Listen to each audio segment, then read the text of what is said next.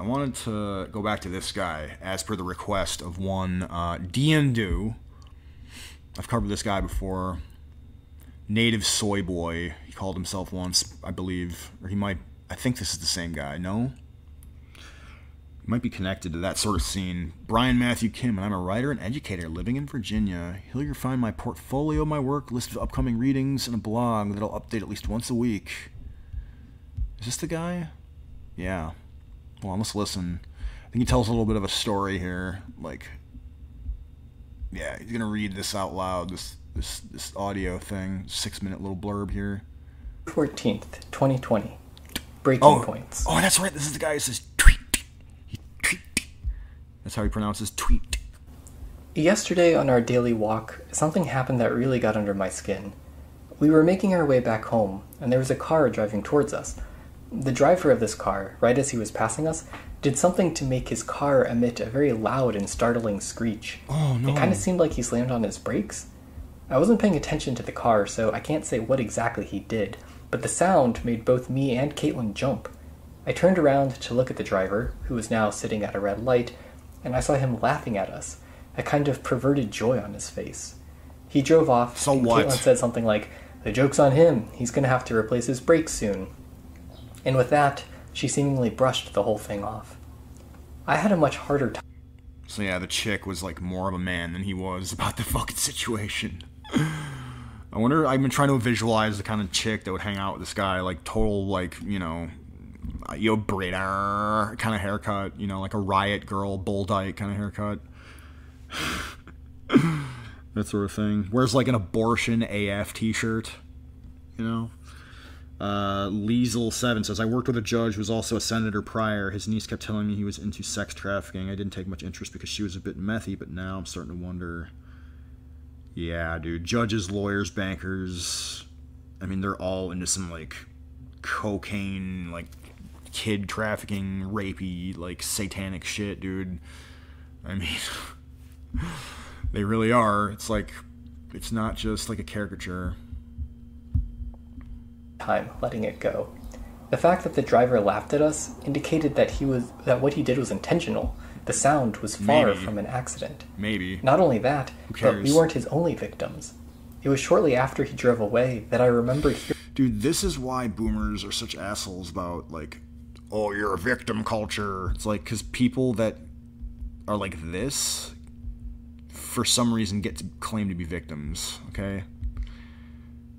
It's boy who cried wolf, man. It's, it's not healthy for society. 30 seconds prior, presumably to another group of people walking further ahead of us. Repeated behavior, plus his unapologetic demeanor, meant that he was just fucking with us. He was being an asshole. Base Chad. Now look, Dude, like, total Cobra Kai move. Hell yeah. there was a I wonder, what's this dated? June 4th, 2020. Okay, so they were probably, like, wearing masks and looking like an idiot, so the time when I was young Based. and dumb too. In college, I'd sometimes go jeffing with my roommates when we drove through campus. This was a game one of my roommates, the one who had a car, invented. The rules are simple. You roll down your window, pick your mark, and say, Hey Jeff, like you know the person. It was very dumb and very stupid, but we got a kick out of it. that's just harmless. The driver of the car who startled us was young too. A man, of course, because I feel like it's only young men who do stupid shit like this. No. He wasn't white, but No, no, no, what no, no, no, no, no. Actually, uh, Barbie out there, you know who you are. Um, no, this chick. Uh, I mean, numerous chicks have yelled shit out the car windows at me before. You know what I mean? Like that's a total fucking lie. was since I only saw him for a second. I don't mean, remember there's, the like, type drunk of car. party I don't even remember the color of the car. All I remember is that smirk. That smirk said it all. It said, "I'm not sorry." It said, "I have more power in this situation." It said, "You can't do anything." And The smirk, dude. This is this is how they're trying to pathologize white people, dude. And this is how they got the Covington kid. If you remember how he smirked at the fucking idiot, fucking native fake actor, like stolen valor idiot, banging a drum in his face. response. The smirk, the smirk to these people just denotes like, oh, I have power over you because I did a prank. That's the part that really What? got to me. The reason why the driver could pull his little prank is because he knew he wouldn't have to be held accountable. There wasn't anything I or anyone could do except take it. The older I get, it, the bitch. less and less patience I have for people being assholes. If someone does something shitty to another person, I want that perpetrator to face consequences. Accountability is suddenly very important to me. I want assholes I want to you to learn face that if they do something bad or mean or spiteful, there are repercussions. What's frightening is that in those moments of rage, I often turn to violence. I want fake like virtue signalers who th- like have the prestige of being perceived as a good person, but they're really fucking horrible, conniving, manipulative assholes. I want them to pay. Once. Actually, When the upstairs neighbors are being loud and obnoxious, I fantasize about bashing down their door. After seeing the driver smirk, I wanted to run up to his window and gouge his eyes out. wow, As we dude. continued our And this is like daily fucking thoughts from minorities, dude. When they look at you, I guarantee you, like that's. if you see some like, you know, disparate faction member walking past you down the street, they're wearing a mask, and maybe you're not because you're based in Chad about this whole stupid fucking mask thing, dude. I bet you fucking, uh, dude. A decent chunk of them are fantasizing about what that dude just said, or something not dissimilar that's a common occurrence. Just for like smirking and looking at him the wrong way, or not wearing a mask or something, or whatever. I told Caitlin how much the incident with the driver bothered me. I censored myself and told her I wanted to run up to the driver's window and poke him in the eye. But if I'm being honest, I didn't want to just poke him in the eye. I wanted to cause severe and permanent damage. Now, before So yeah, you got to keep. You got to keep people like this. You know, you, you, you got to keep people like this out of your neighborhoods. You got to keep people like this out of your schools. You got to keep people like this out of your libraries. You got to keep people like this out of your daycares, out of your social work, whatever it is, dude. Out of your drag queen story time that you shouldn't even be having in the first place. This is the guy, kind of guy that'll be fucking attending or organizing it. Why? How? How did we allow this? before anyone gets too worried, hi mom. I'm not the type of person to actually do anything. Mm-hmm. I'm not violent, and I'm awful at confrontation, so you don't have to worry about me getting arrested. But if anything, knowing that about myself Getting only makes me feel more riled up in the moment because it adds to the years and years and years of just letting things go. I equated the incident with the driver to a microaggression. It happened very quickly, very unexpectedly, I thought the word microaggression was like on the way out in the past couple years. I thought they stopped using it after people memed it so fucking hard back during like, like back when Milo was relevant for fuck's sake. We were left dazed, confused, startled, angry, powerless. This is also closely related to the experience of being catcalled. Wah. I think the reason why my thoughts Don't turned to such severe and permanent damage is because Hey, can I fucking just say I don't give a fuck if you're catcalled. I fucking care. Shut up. because I want these people, our upstairs neighbors, the driver, to experience the same kind of lasting repercussions that I feel being a person of color. Mm, White people are seen as the default. White people can think of themselves as only. raceless. If only. I cannot No, no, it's not good to think of yourselves as raceless, you disingenuous framing asshole. No, we're forced to think of ourselves as raceless, raceless or we get canceled. not. I look racially ambiguous. For example, sometimes people will come up to me speaking Spanish, but in that ambiguity, one thing is clear I don't look white. This week saw the death of yet another black person by yet another police officer. Rayshard Brooks fell asleep in a Oh. Wendy's drive through Okay, Rayshard Brooks. Okay, yeah, he pulled a taser on the cop. on Friday night, and when the cops came, they performed a sobriety test, which he failed. There was some kind of scuffle as the hmm. officers took him into custody, and Some kind of scuffle, okay. Brooks ran away with one of the cops' tasers. Another police officer chased Brooks and shot him three times in the Okay, there you go. He lies by omission, as all progressives ever do, 100% of the time without exception. He tells the truth up to a point. He says, Yeah, Rayshard Brooks ran away with his taser, and then the cop shot him through. Like, okay, okay, we see what you did there. back. Shot him in the Yesterday, back. protesters set fire to the Wendy's where the police shot Brooks. Oh yeah, and then the and then uh, was it before or after? Then Wendy's gave BLM like five hundred thousand dollars, setting the absolute backwards precedent that if you burn shit and hurt people, you get cash from corporations. Oh, how delightful! I get it. I understand it. Or You can you're treat Blake and you people like that. shit for only so long before they reach a breaking point. Caitlin suggested I use a pillow to hit the couch. By the time we actually got home, then I had calmed down enough and didn't need to vent. But in another situation, in another context, I can see where I would want to tear down a Wendy's. No, you're a disgusting piece of shit, dude. Wendy's fucking gave these people money, man. Uh, George Floyd's family, by the way, wouldn't it, didn't they get like twenty-seven million dollars from the taxpayers? Why? Because their kid was like shown on TV, like what ODing on drugs that he took, and during that process, he had a knee on his neck. There's no autopsy report that proved that there were any fatal injuries. That once that evidence comes out, like how many more cities are gonna fucking burn, dude? And fuckers like this, you know, are encouraging it. He thinks it's okay. He thinks fucking a white person like like being recklessly driving. I, okay, yeah, because that's the fucking rule, right? Okay. And then doing a stupid little fucking prank. He thinks that's grounds to gouge his eyes out and then burn a Wendy's. Like, or, you know, Rayshard Brooks pulling a fucking taser of the cop on the cop and then getting dealt with. Like, that's cause to fucking burn a Wendy's. Ultimately, Even though, when, again, Wendy's gave them money. It's the thing I find so disheartening is this.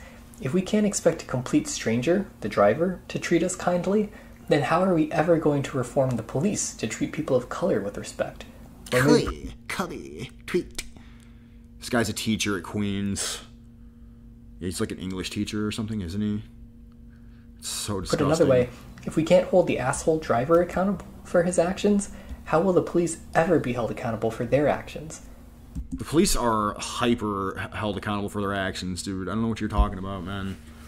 It's just that the vast majority of time it's fucking justified. This is why He's you've likely heard the phrase defund the police in the past week or two.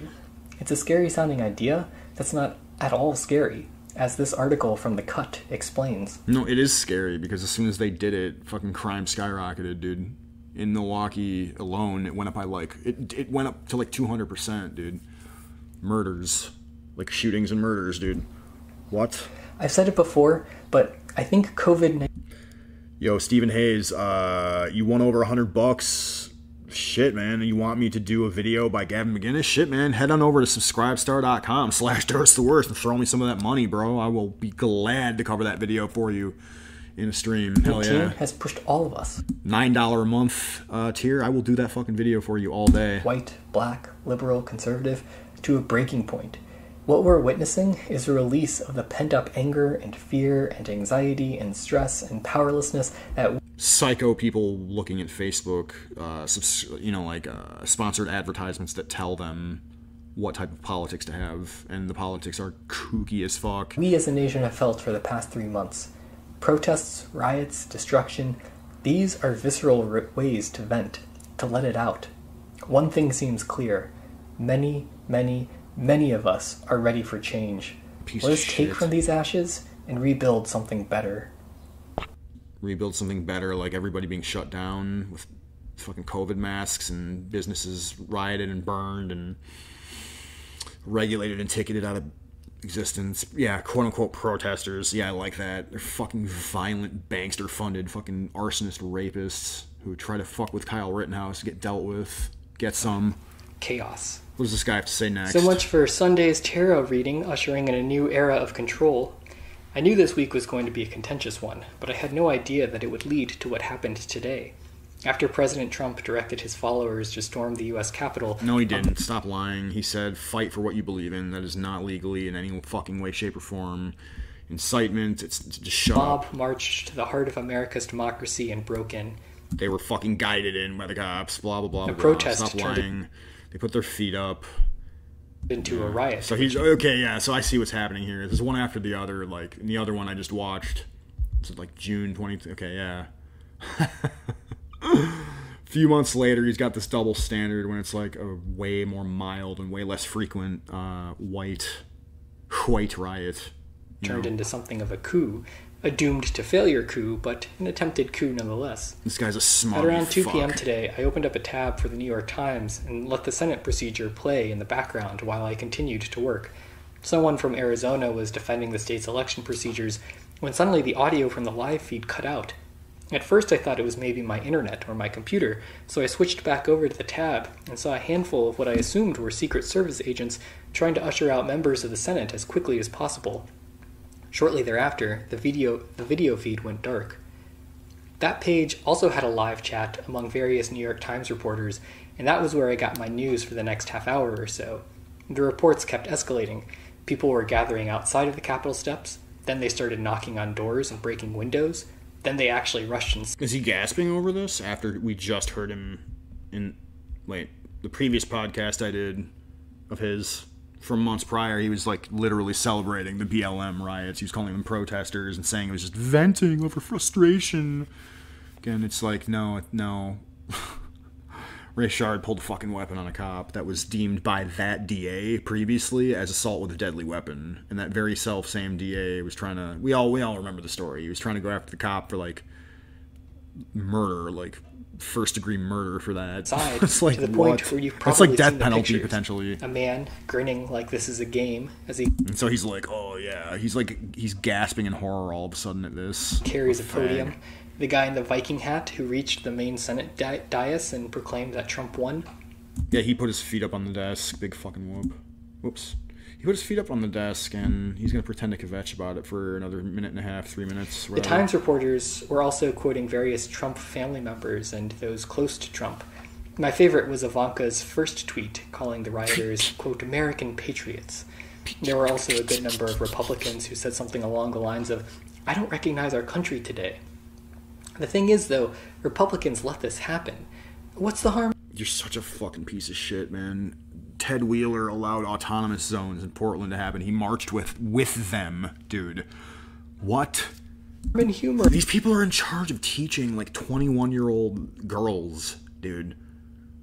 Maybe not this guy specifically currently, but people with this very self same mindset. Hearing him, Mo said, Corrupt Trump people, immediately dude. began to denounce the election. Well, now we know the answer to that rhetorical question. Two months of humoring Trump will lead to this. That's why these comments from Republicans condemning the actions of the rioters just makes my eyes roll. Uh, Republicans lamenting, I don't recognize our country, is like Dr. Frankenstein lamenting the creation of his monster. Here's what happened today, just to be clear. As Congress met to certify the Electoral College's results, a small group of angry, entitled, mostly white Trump supporters sowed chaos to disrupt Angry, entitled. I mean, how many of them were misprescribed some bullshit? You know, they're maybe drug addicted. Maybe they're like junk food addicted people. You know, they live in a small town that's uh, whatever manufacturing sector has been hollowed out by globalization and outsourcing, and what's left has been replaced by machines, automation, and immigrants. Uh, angry white entitled men who actually fucking work for a living while this fucking faggot sits in an air conditioned fucking ivory tower and fucking judges people with knowing absolutely nothing. He's just lied the entire time. Has no knowledge of any of these events. Every last fucking thing he said has been a lie. RWDS when. democracy. They're sore losers who are fueled by a petulant, childish charlatan, and the Capitol Police did very little to stop them. You fuckers spent fucking four years burning the country. When Trump was being inaugurated, Antifa fucking flipped cars and fucking burned shit in the Capitol. You fucking lying piece of shit. This is disgusting. Yeah, no, not for the reasons that, yeah. no. Once the Trump supporters were inside the Capitol, they hung a Trump flag, they hung a QAnon flag, they hung a Confederate flag. Outside, someone hung a noose. This is who these people are. Okay, And we're whatever, supposed dude. to come together and be one? Fuck that shit. No, I, I, I, I agree. Fuck that shit. If you're a conspiracy theorist who loves Trump and the conspiracy theorists like, oh, poor black people are being systematically hunted by cops. Yeah, I know. Yeah, no, exactly. If you're a conspiracy nut, yeah, I don't want to fucking. If you, oh yeah, COVID masks are good for people. Shutdowns, oh yeah, social distancing, that's good for people. If you're a fucking credulous idiot who believes everything mainstream media fucking tells you, and you hate white people, yeah, no, I don't want to fucking share a nation with see you. so much, No, I don't. you can fuck off. Yeah, What are you contributing to Yeah. society? What worth? No, yeah. What are you? Con- what are you contributing to society? You fucking parasitic, fucking public school teacher piece of shit, indoctrinating the youth culture with this fucking bile, this garbage. you possibly offer? It's just, it's just lies of omission. That's all it is. Speaking of flags, I saw many American flags in the crowd, of course, but perhaps the Hell weirdest yeah. thing I saw in all the coverage was a flag for South Korea. I noticed it on one of those wide angle shots outside of the Capitol. Rooftop Koreans, bro. I have no idea who chose to bring a South Korean flag to a Trump rally or what they could possibly mean by that. That's how out of touch he is. He doesn't know the meme. He doesn't know the meme culture because he doesn't care to look into it. Because he cares to look into some Guardian piece about it that lies because he wants to lie and perpetuate lies But to fit as someone who is half Korean, I apologize on behalf of all Koreans. No marginalized group is a monolith. So even as record number of Asian Americans turned out to vote in November, and likely also for Warnock and Ossoff yesterday, it's important to remember Asian Americans are not fucking marginalized. They're good, dude. that not all Asian Americans think or vote the same way. Clearly, there's one doofus out there being an idiot today. And on behalf of that dolt, I apologize. I honestly don't know No, how dude. No, rooftop Asians are fucking based. Oh, or Fucking, I mean, they're the ones. They they're the ones fucking siding with the likes of Rittenhouse. when this is going to end. So hell I'm yeah. worried that this is just the warm up to something far larger and far worse on January 20th. After making it two Meh. months with relative calm, I thought that maybe all of my fears and worries of violence surrounding the election were unwarranted. Today proved that, if anything, I wasn't worried enough. This is who we are, America. We're only as good as the worst of what we have to offer, and it's hard to imagine anything worse than this. Right. The guy's fucking just robotic and telling lies. He's just programmed to tell lies.